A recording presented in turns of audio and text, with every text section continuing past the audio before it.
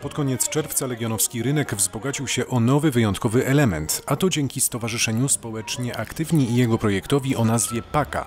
Wśród dziesięciu składających się na niego inicjatyw pojawiła się też idea stworzenia w mieście miejsca dla zakochanych, takiego dzięki któremu będą oni mogli swą miłość dyskretnie i trwale zamanifestować.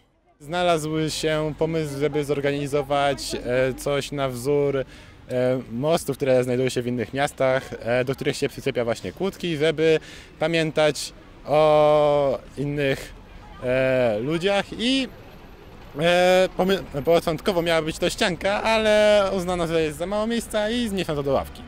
Na szczęście, jak powszechnie wiadomo, to nie rozmiar jest najważniejszy. Zwłaszcza, że odsłonięta podczas specjalnego happeningu ławeczka naprawdę może się podobać. Jej premiera była jednak osłonięta gęstą mgłą tajemnicy. Niespodzianka, którą zapowiadał prezydent miasta Legionowo tutaj jako współorganizator tego wydarzenia.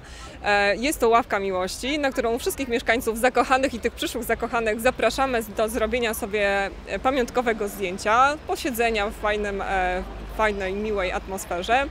Co najmniej takiej, jaka panowała podczas imprezy na miejskim rynku. Kilkudziesięciu młodych członków Paki postarało się, aby przez kilka godzin było tam wesoło i ciekawie. Jeśli chodzi o sferę uczuć, tego dnia odwoływały się do niej również dwie specjalne wystawy fotograficzne. Jedna jest o tematyce Legionowo w obiektywie, a druga jest związana z ławką miłości, czyli e, miłość w obiektywie. I tak oto za sprawą PAKI, czyli Pracowni Aktywnych Kreatywnych Animatorów, Legionowo zyskało swój skromny, miłosny kącik. Jego twórcy mają nadzieję, że z czasem obok ratusza czy areny stanie się on jednym z symboli miasta.